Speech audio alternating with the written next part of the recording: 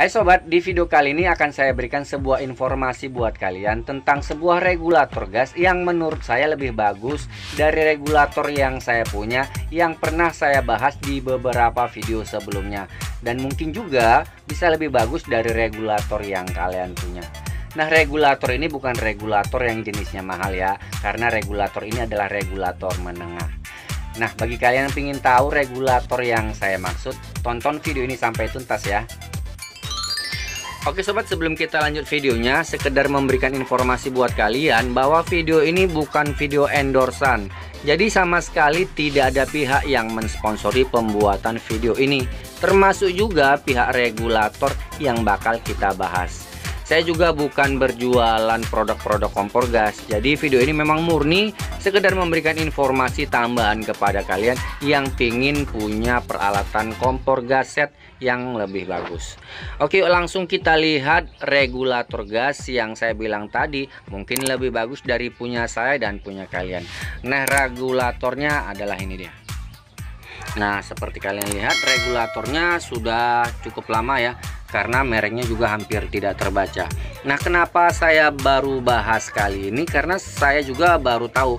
Mungkin karena mereknya yang kurang familiar ya di telinga kita sampai mungkin saya sendiri kurang mendapat informasi dari produk ini. Nah, apa alasan saya sehingga saya berani bilang bahwa regulator ini lebih bagus dari punya saya dan dari punya kalian adalah terkait bentuk fisiknya. Nah, bisa kalian lihat sendiri bahwa regulator ini ya punya dua knop ya. Nah, knop ini terhubung dengan pengait. Jadi benar bahwa regulator ini punya dua pengait ya. Nah, dengan dua pengait tentunya akan beda hasilnya dengan satu pengait seperti di video-video yang saya pernah bahas sebelumnya seperti yang ini ya. Nah, yang ini kelihatan ya kalau regulator ini pengaitnya satu dan knopnya juga satu. Sedangkan di video ini kelihatan bahwa regulator ini punya dua pengait yang warna biru dan warna merah. Kalau untuk bentuk yang lain dari atas tampilannya sih hampir sama ya tidak ada jauh beda. Oke nah sekarang kita buktikan yuk. Benar nggak sih bahwa regulator ini punya dua pengait? Kita buka dulu regulatornya ya saya putar yang sebelah biru dulu untuk melepaskan pengaitnya kemudian yang sebelah merah. Benarkah regulator ini punya dua pengait? Silahkan kalian lihat sendiri ya. Nah seperti ini. Oke saya pindah dulu untuk mencari posisi cahaya yang lebih jelas ya.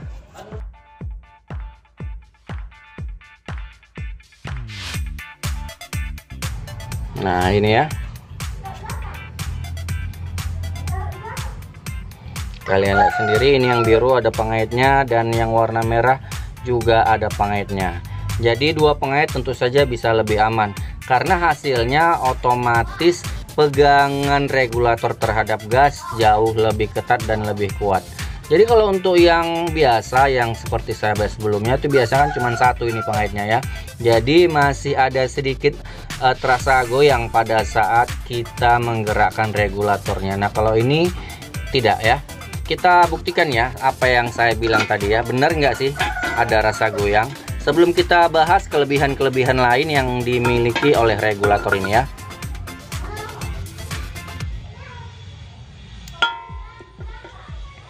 Ntar ya. Oke. Berhubung saya sendirian saya pakai kaki nggak apa-apa ya. Nah kalian lihat sendiri ya nah ini adalah hasilnya guys. Ya lebih ketat. Ya dari regulator yang hanya menggunakan satu pengait oke jadi benar memang lebih bagus. Kemudian kelebihan apa lagi sih yang dia punya untuk regulator yang harganya harga menengah? Saya buka kembali.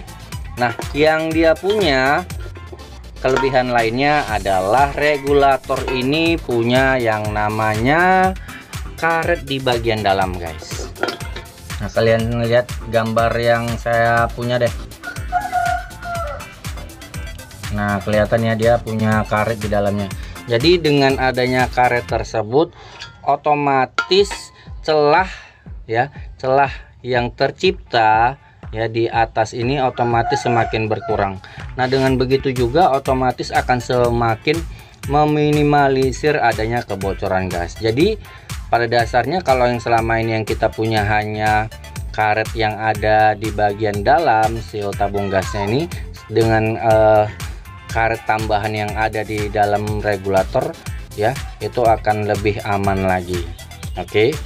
Oh ya kemudian muncul pertanyaan Om beli regulator yang merek seperti itu di mana Nah silakan kalian cari saja di toko-toko terdekat yang menjual peralatan kompor gas Nah merek gasnya uh, maksud saya merek regulator gasnya adalah merek NIS oke okay?